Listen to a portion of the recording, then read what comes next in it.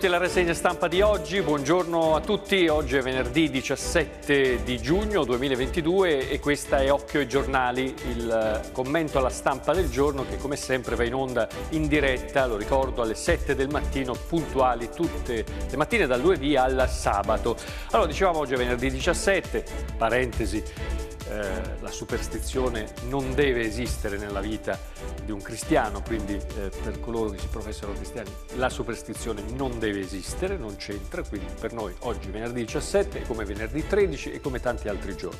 Sarà una bellissima giornata di sole e a proposito di sole andiamo subito a vedere in questa bella spiaggia marchigiana, questa mattina apriamo la nostra finestra sulla spiaggia di Numana, una delle spiagge più belle dell'Italia, d'Italia. E questa è, un, è una immagine un po' come dire, come vedete abbiamo il sole contro rispetto alla telecamera eh, fissa che eh, inquadra questo tratto di spiaggia con tante palme, vedete, tanti ombrelloni ancora chiusi, ma con, tanta, eh, con, con, con tanto traffico in mare, perché vedete ci sono questi, queste piccole imbarcazioni che penso siano sempre vongolare, stanno rientrando in porto. Ecco, insomma, questa è l'immagine che ci eh, fa ben sperare per questa giornata, con questo riflesso del sole stupendo, quest'aria, eh, vedete, questo cielo, eh, non dico ehm, azzurro perché comunque vedete ci sono anche un po' di nuvole eccetera però niente di che. Infatti andiamo a vedere le previsioni per la giornata di oggi. Questo è il sito della protezione civile delle Marche. Per oggi eh, abbiamo un po' di nuvolosità ma anche un po' di eh, pioggia soprattutto isolati e brevi piovaschi nel pomeriggio ma relativamente alle zone appenniniche quindi parliamo di montagna va bene? ecco le temperature sono eh, in lieve diminuzione quelle massime per la giornata di domani il fine settimana sarà comunque variabile. Vedete, non c'è il sole pieno, eh, avremo un po' di transito di nuvole medie stratificate. Eh, per quanto riguarda invece le temperature ancora in lieve diminuzione nei valori massimi, mentre quelle della notte saranno stazionarie. Vediamo invece domenica. Ecco, domenica un bel cielo terzo per eh, chi andrà al mare, che potrà andare al mare. Avremo infatti giornata, una giornata serena o poco nuvolosa, con ancora le temperature però questa volta minime in diminuzione, le massime invece aumenteranno. C'è un po' di vento invece eh, al mattino, eh, ma comunque tutto sommato sarà una bella giornata eh, di eh, sole. Poi c'è l'alta la, pressione che garantirà condizioni stabili e soleggiate per gran parte della prossima settimana con temperature in graduale salita. Questo è quanto dovevamo per il tempo che comunque in estate incide anche perché eh, insomma ci sono persone che vengono qua eh, anche in vacanza, dunque investono dei soldi, eh, spendono dei soldi eh, e quindi è bene che, eh, se, soprattutto se decidono di stare al mare, ecco, che il cielo eh, ci assista anche dal punto, dal punto, di vista meteorologico. Adesso andiamo a vedere, cioè, a vedere i giornali e partiamo dal resto del Carlino. Il resto del Carlino di oggi in apertura pubblica la fotonotizia dei contagi che sono in risalita. Il Covid, col quale, ribadisco ancora una volta, dobbiamo oh, convivere, eh, ormai questo è assodato, ma senza ansia, perché di ansia ne abbiamo accumulata già abbastanza in questi due anni e questi titoli non è che aiute, aiutino tantissimo, quindi spero che i colleghi capiscano una volta tanto che bisognerà cominciare anche a prendere le cose eh, per il verso giusto senza stare a farle tante paturnie. Comunque riesplodono i contagi, eh, quasi il 50% in più rispetto alla settimana precedente, grazie a Dio eh, nessuno muore o comunque quelli che muoiono, ahimè, insomma, hanno tutte patologie e comunque eh, ehm, eh, diciamo che ecco, la maggior parte delle volte si muore, sì, ma non per il Covid, ma con il Covid. Ma di questo adesso ci fermiamo qua. Eh, quello che dovevamo ecco, dirvi è che comunque eh, i contagi ancora ci sono. Ci sono, ci sono persone che sono in isolamento, tante nelle Marche, soprattutto a Nascoli Piceno. Eh, ci sono tante persone in isolamento e si fanno la settimana a casa e poi ritornano in pista. Allora, Invece, sulla questione delle cene gratis, eh, cene di pesce gratis, o meglio, sull'inchiesta Mystic, Mystic, River, nelle intercettazioni, le debolezze del funzionario della regione arrestato per corruzione. Cene di pesce gratis, che passione. Poi la città di Pesaro alle 5 di oggi pomeriggio saluterà la Freccia di Loreto. Chi è la Freccia di Loreto? Un ex campione di eh, pallacanestro Eh, Gagliardetto biancorosso sul cancello di casa, oggi al porto l'addio a Gurini, stella appunto eh, indimenticata eh, dei pesaresi. Poi c'è una notizia, sempre in apertura in primo piano sul giornale di oggi, eh, qualcuno lo ricorderà sicuramente di, quei, di, quel giovane che è stato pestato dal branco alla rocca eh, di Fano. Il processo è tutto però da rifare, vedremo perché. Poi due croati si erano addormentati e col peschereccio finirono contro gli scogli, assolti dal reato di eh, naufragio. Poi la protesta invece dei volontari, accogliere i, pro, i profughi ucraini è sempre più difficile perché ci si mette di mezzo, come al solito, la burocrazia poi missioni in Etiopia, a Bamarcello, serata solidale per salvare i bambini africani, sotto invece nubifragio, un nubifragio all'improvviso eh, che ha mandato in tilt un paesino, tra l'altro tra i più belli dell'entroterra che abbiamo qui in provincia di Pesurbino, ovvero Borgo Pace e altri centri vicini, un nubifragio, dicevo, all'improvviso. Guardate la fotografia, incredibile, strade distrutte e paura, un fiume di acqua per le vie di questi piccoli borghi. Poi lo sport, Repegia l'allenatore eh, che è amato e odiato dai pesaresi, perché a un certo punto, se non ricordo male, l'anno scorso se ne andò, non mi ricordo bene esattamente come sono andate le cose, comunque un nuovo coach per la VL, eh, Repegia in vantaggio, oggi il consiglio di amministrazione della squadra insomma, decide, della VL deciderà. Adesso andiamo a vedere invece il Corriere Adriatico, sempre l'edizione di Pesaro. Allora, in apertura la fotonotizia, eh, adesso sono libero di volare, dice ehm, prima di morire Federico Carboni, detto Mario, eh, che mh, mm, è morto con il suicidio assistito. Ma l'apertura del Corriere di oggi è sulla Baia, la Baia Flaminia, grandi eventi e pochi stalli. Per l'estate i parcheggi Serbatoio di Campo di Marte e di Viale Belgrado rischiano di non bastare i residenti lamentano di non trovare posto, bocciate le proposte di pedonalizzare l'area del food, cioè del cibo dove si mangia. Eh, boomerang super bonus, rischio blocco invece per i cantieri. Eh, sotto l'opposizione eh, di Pesaro, parliamo di politica, eh, Palas i costi sono triplicati per gli scarsi controlli, mentre a Marotta il disperato appello di un padre che leggeremo tra poco, eh, che eh, vuole proteggere la figlia perseguitata dall'ex fidanzato, aiutate mia figlia, lui è fuori controllo, dice. E poi ancora da Pesaro, crack fraudolento e l'ignaro mulettista diventa liquidatore. E adesso entriamo nelle pagine interne. E io ripartirei da questa, eh, da questa notizia, perché vista così, so che sto toccando un tema e non voglio entrarci perché non è questo il contesto, ma eh, credo che per noi cattolici, anche per noi, insomma, eh, è importante, e lo faremo attraverso le parole, secondo me, sagge di Monsignor Spina, l'arcivescovo di eh, Ancona, eh, che risponde, risponde a tono, come è giusto che sia, alla giornalista, alla collega che fa domande su sia, se sia giusto o meno dare la morte alle persone che comunque da molti anni soffrono e so che qui subito anche tra voi telespettatori a casa eh, qualcuno dirà eh, che senso ha vivere in questo modo eh, oppure altri che invece pochi forse diranno la vita è un dono e va rispettato fino alla fine, fino alla morte naturale. Ma di questo, ripeto, non entro io con la, la, la mia considerazione, ma eh, lo faremo attraverso la risposta di Angelo Spina e allora vediamola. Eh, intanto il, la pagina che si occupa, sono due le pagine, sì, sono due, eh, io ho selezionato la numero 3, la pagina numero 3 dove eh, ci sono, mh, ecco come vedete, questo per farvi capire un po' la linea del giornale, perché si capisce anche da questo eh, che linea ha il giornale. La linea del giornale è 2 a 1, ovvero Azione Cattolica eh, che dice o meglio per bocca del leader Rizzi, io avrei fatto la stessa cosa e capite che quando uno legge un titolo del genere capisce che già all'interno della Chiesa è un disastro. Perché? Perché eh, non si può mm, mettere una dichiarazione del genere, o meglio, se uno la fa poi se ne assume le responsabilità. Però in una situazione simile dice chiederei l'identico iter e tant'è che l'attacco del pezzo di eh, Andrea Maccarone è di questo tenore. Il mondo eh, cattolico è diviso sul tema del suicidio assistito,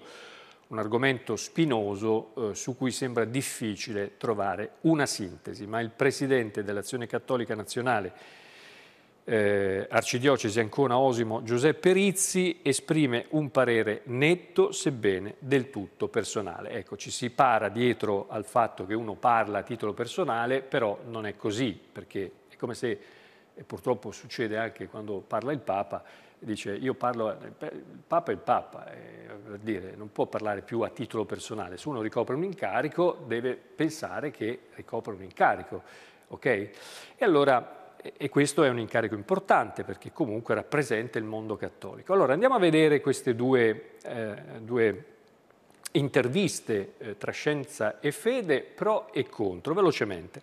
Allora, tra chi è pro Abbiamo il professor Tagliabracci del comitato etico, c'erano le quattro condizioni richieste, quindi la buttiamo sul, sul burocratico, no? c'erano le condizioni, questo è così, questo è così e quindi si può fare. Giustamente invece la risposta di Angelo Spina, arcivescovo di Ancona, dice i suicidi sono una sconfitta per l'umanità. Aiutiamo la vita, non la morte, serve una società eh, solidale. E tra le risposte, chiaramente vi lascio eh, la risposta di Tagliabracci eh, mh, su, su, sul Corriere di oggi e quindi eh, siete, ecco, basta comprare il giornale e poi uno se la legge. Io invece vorrei un attimo soffermarmi eh, perché i titoli sono quelli che abbiamo visto e solitamente sono quelli che la gente legge velocemente e poi non approfondisce mai. Allora approfondiamo un attimo eh, e tiriamo giustamente l'acqua al nostro mulino eh, come cattolici. Le vicende personali e umane sono sempre dolorose, dice Angelo Spina, arcivescovo di eh, Ancona, soprattutto quando si attraversa il calvario della sofferenza. Eh, ma di fronte alla vita noi dobbiamo avere un atteggiamento fermo. La vita è un dono e non può essere toccato né scalfito. Se si tocca il valore fondamentale della nostra esistenza, tutto il resto crolla. Eh, Fabio e Federico, perché c'è anche Fabio di Fermignano, lo ricordiamo, eh, che lo ha preceduto qualche giorno fa, hanno portato una croce diventata negli anni sempre più pesante. Anche Antonio, terzo marchigiano, ad aver scelto la strada del suicidio medicalmente assistito è il testimone di una vita che va oltre la sofferenza e chiede di morire.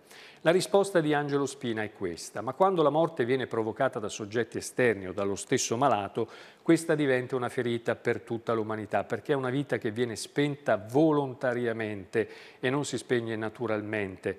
La morte va accettata ma non deve essere somministrata. La vita è il valore più alto che noi abbiamo.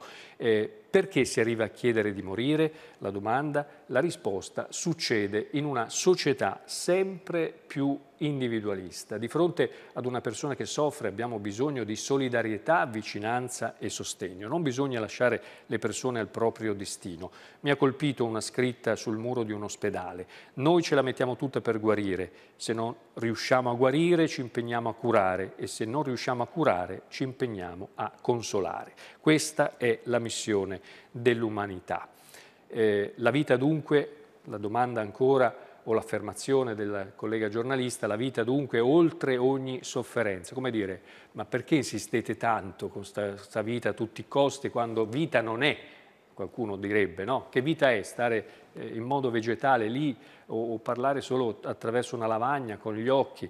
Se si, se si afferma, dice ancora l'arcivescovo di Ancona, se si afferma il principio che una persona può decidere il proprio futuro, questa non è una cultura della vita, ma è una cultura della morte. Durante il Covid ci sono stati medici che hanno sacrificato la propria vita per curare i malati. È di questo che abbiamo bisogno, di una umanità che scommette sulla vita e non sulla morte, perché la vita è l'unico bene di cui non possiamo disporre secondo la nostra eh, volontà. E eh, Maria Teresa Bianciardi ancora dice anche quando diventa insopportabile, come lo è stato per Fabio e Federico, come lo è per Antonio e chissà per quanti altri, la risposta e la conclusione dell'Arcivescovo è la vita non può essere soppressa, lo dobbiamo, la dobbiamo conservare così come ci è stata donata. Io aprirei una parentesi da Dio, che qui non, non leggo da qualche parte, ma c'è Dio, dal concepimento alla morte naturale e di fronte a qualsiasi persona sofferente c'è bisogno di tanta solidarietà per far sentire che tutti lottiamo affinché quella vita sia vita e non morte. E quindi, ecco, ripeto, è un, è un, discorso che andrebbe affrontato non certo in una rassegna stampa, in un, in un, commento alla stampa del giorno, però è un modo anche, bisognerebbe un, po', un pochettino riflettere su questo, su questo aspetto tenendo conto che eh, non si parla più di vita eterna, che invece è l'argomento sul quale bisognerebbe insistere e tornare ad insistere, no? quelli che una volta i nostri vecchi chiamavano i nuovissimi.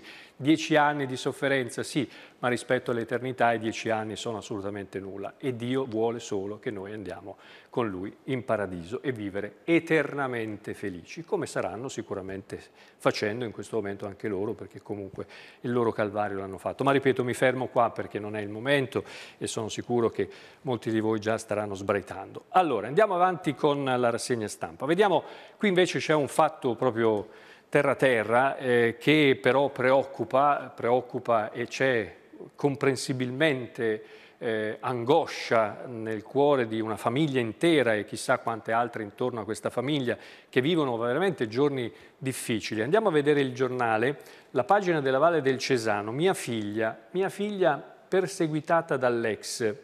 Lui è fuori controllo, quindi dice aiutate. C'è l'appello di un padre che dice abbiamo denunciato questa persona quattro volte, per favore non aspettiamo la tragedia. Naturalmente per salvaguardare la privacy Jacopo Zuccari eh, scrive questo articolo, mette soltanto le iniziali del padre, di questo padre disperato che è un operaio specializzato, che non chiude più occhio da giorni, eh, insomma ed è giusto così.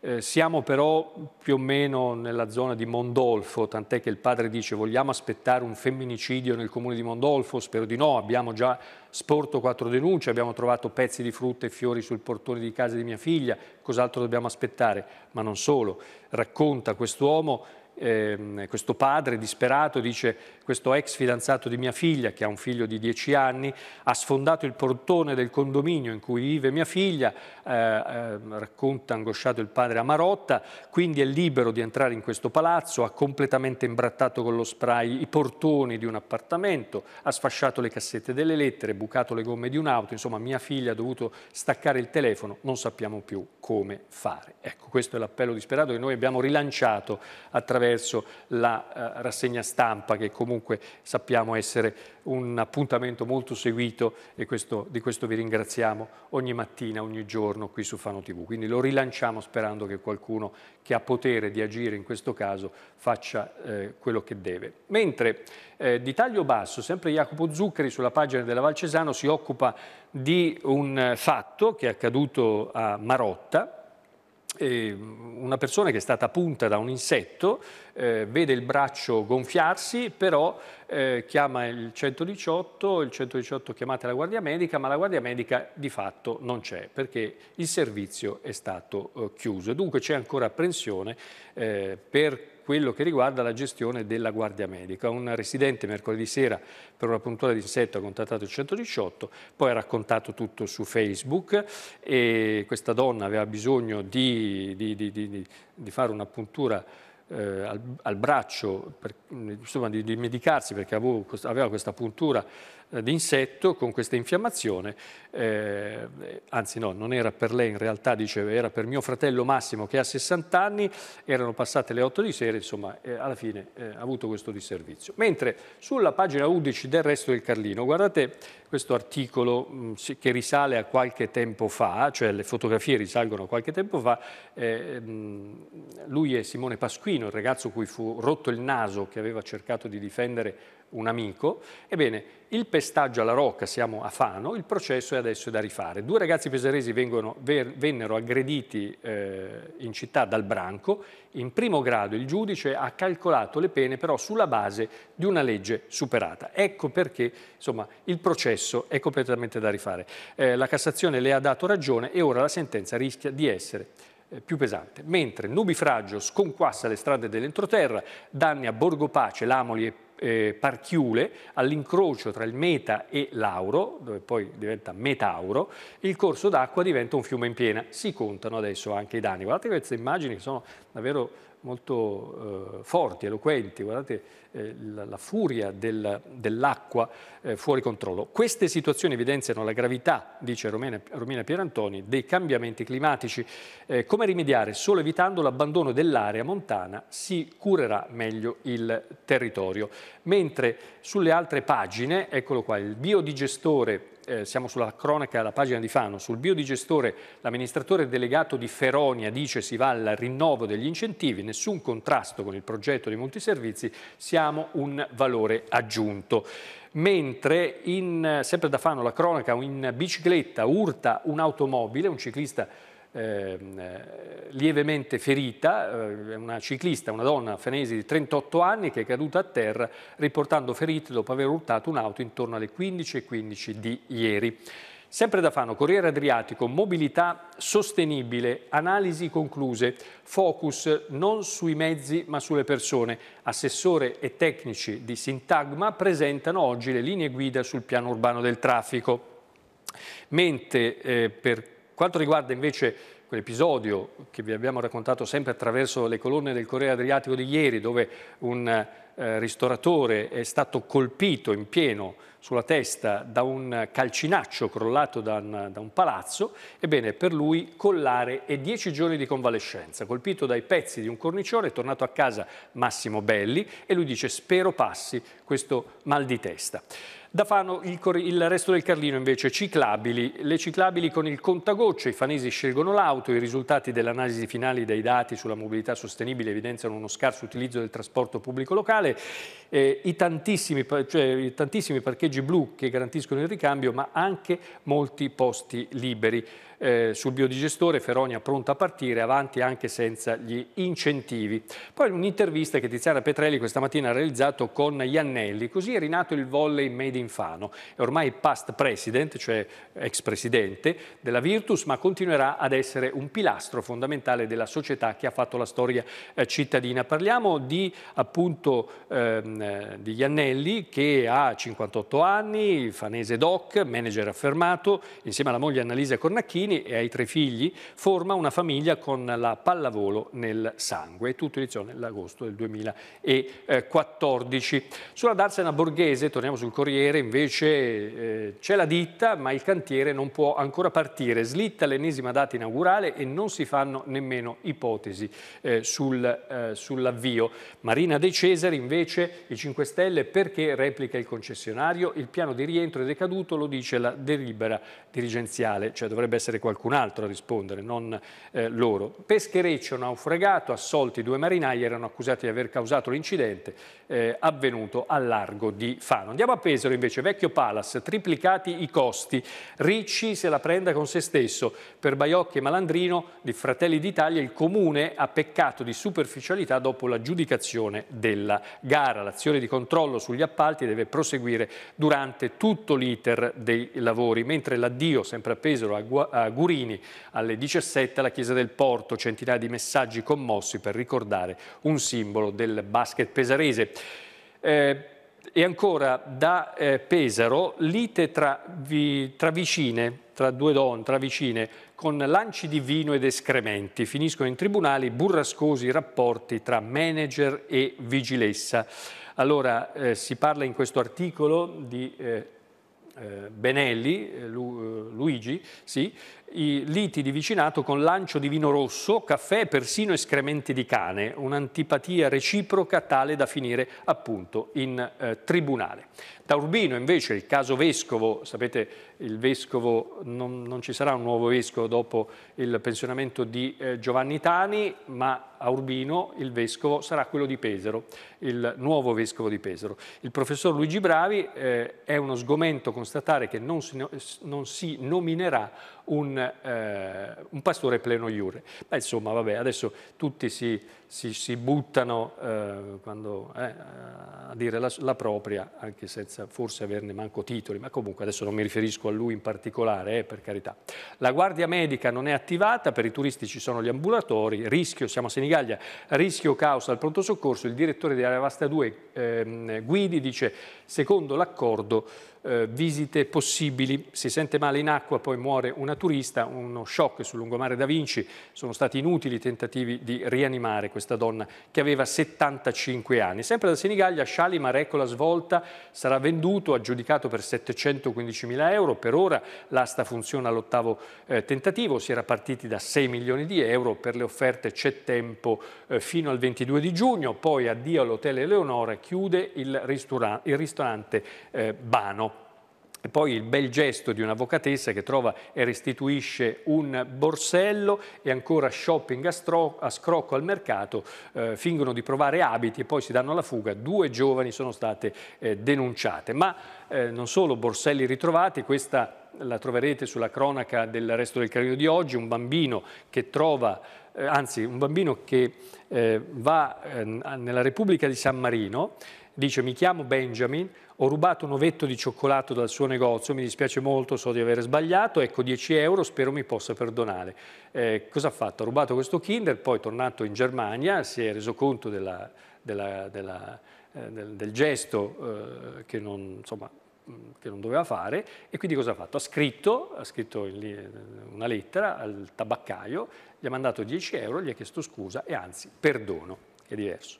Allora, Repeja piace ma non a tutti, la prima scelta della VL non viene discussa come allenatore ma per il modo in cui, eh, vedete, andò via, nel frattempo il tempo stringe per il rinnovo dei contratti di Tambone e Zanotti ormai in scadenza. Alla Vigilar invece c'è il ritorno di Ferri, ora bisogna scegliere i eh, centrali, parliamo di pallavolo ma ci torneremo tra un attimo, intanto eh, in casa Alma Juventus Fano, Mosconi, l'allenatore pochi errori e idee chiare, ieri il nuovo allenatore del Fano ha visionato altri giovani, da Tolentino due arrivi tra Nonni, Capezzani, Tortelli, eh, Padovani e Strani, Strano, mentre sotto eh, pallavolo, Serie 1 femminile, Megabox, firma Sirressi, libera di stupire ancora.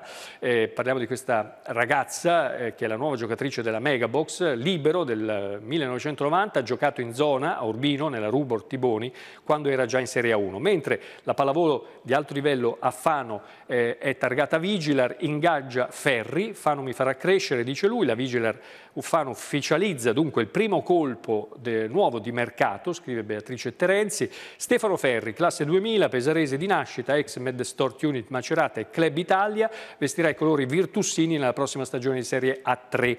Per il sodalizio fanese trattasi di un arrivo importante, considerato che Ferri, nonostante la giovane età, gioca in Serie A da qualche anno e due stagioni fa risultò uno dei migliori schiacciatori della categoria. Con questo mi fermo qui, grazie per averci seguito, appuntamento a questa sera, ci vediamo stasera alle 20.30 con il telegiornale, occhio alla notizia. Arrivederci.